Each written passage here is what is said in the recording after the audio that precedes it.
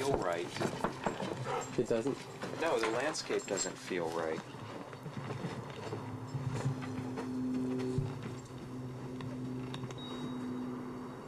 Let's go back and read the directions.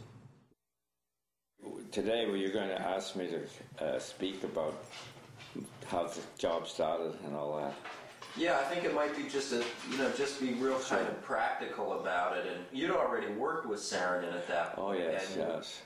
Uh, yeah, well, actually, Eero, uh, I first met Eero, you know, through. Lou Kahn introduced me to Eero.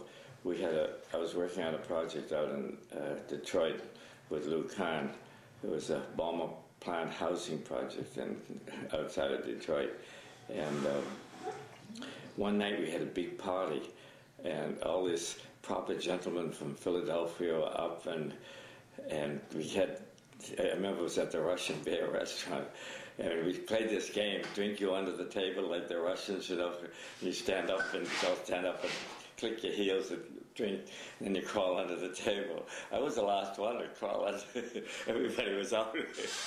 and finally, these proper gentlemen got uh, creeping around the room under ladies' legs and so forth and other chairs. It, it was fantastic.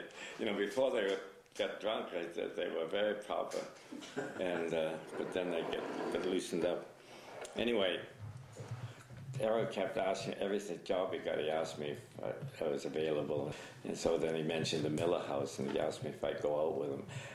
I, I was sort of scared of flying, and I take the train most of the time. And uh, so we flew. I flew with Eero. It was one of those uh, planes that had a supercharger, and it kind of pauses in the air for a minute till it changes or something. And when it did that, Eero said, "What's that?" I said, Eero, I thought you didn't mind flying. it didn't bother me. and uh, so anyway, we met. The first meeting with Irwin Miller was in Columbus, Indiana and it was at the Palm Restaurant. It was the only restaurant there, and there were about twelve people, and Eero and and uh, his one of his people and me and some others, and Irwin is sort of a sober type, you know. He's uh, was deep in the study of Bach Sonata and that sort of thing. Um, and so he, he started out by saying, I don't drink, but if anyone wants to have a drink, you know, I like that thing. You know, it's, it's, it's very nice, but maybe you shouldn't. and so I volunteered. I said, I'll have a double scotch. And so everybody broke down and started ordering drinks after that. So that's how we met, first met. I had pretty much of a free hand to work on the Miller House. I mean, they had had the concept for the house all worked out. And Kevin Roche. Kevin was very important in the design of that. And uh, so I, I really designed the thing out of touch with Eero and Kevin.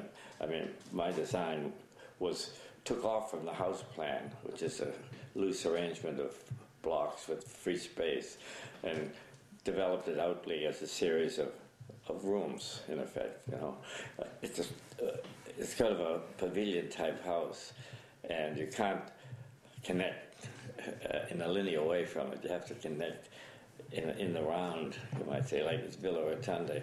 You know, how do you connect? What do you do there? So you do spatial units. It has centrifugal aspect to it. Well, this is a very geometric layout, although in space it doesn't feel geometric, it feels only, you see it in plan. People don't understand that, that many times the plan layout may look very formal or geometric, but in spatial reality, it doesn't. It doesn't uh, constrain you at all. It's just the opposite. It releases you if, if it's done in a certain way. So anyway, I remember Eero saying to Kevin, "Well, we should let Dan go more. You know, in other words, to get into the design aspect from the beginning more." And I always remember that comment. The Millers were very, very good. If they, everyone wanted to understand what was happening. Once he understood and approved, there was no problem. And they've kept it up meticulously over those years, which is quite rare. Yeah. to get something done that wonderfully. Yeah. They were both enthusiastic about my getting the kind of plants I wanted, and we had a lot of luck. You know, we had two magnolias uh, here, here, and here, and uh, there was an estate in Rye, New York, where a road was going through, and I don't know how we found out about it, but beautiful shaped magnolias, you know, big, and we moved them from Rye, New York, out to Columbus. Uh, and they grew beautifully, excepting one died at the entrance, and, uh, and it seems strange why it should die. And uh, you know, when something dies, everybody wants to blame you or everybody. And so we had this. I thought I'd better get the soil analyzed. I got it analyzed. And they found there was oil in the soil. you know what? And what? Then they they discovered that this painter used to take his painting and drop the, the residue from his paint pail into the soil. That's what killed it. So that's why we put the big weeping beech, and we have only one magnolia. There used to be two magnolias. See, I wanted two, two, two. And then once I did the big beech there, I said maybe we should do the two beech on the west side rather than magnolia. So things happen during the process. I think some of the most exciting things one does, and the best design, is when you are working with a client and you're open to receive even a requirement that destroys your cute little scene. You know, you get all in love. How students get in love with a little design, they don't want to, they want to break down. And I've, my best work has come where we've had to change. You know, I like what uh, I can't quote it, but what Ralph Waldo Emerson says about beauty. He, he, he does it in very eloquent terms. He says, if you seek beauty, all you get is a weak, sickly, effeminate, uh, and something else. Effect. He says, if you seek truth, you might get beauty.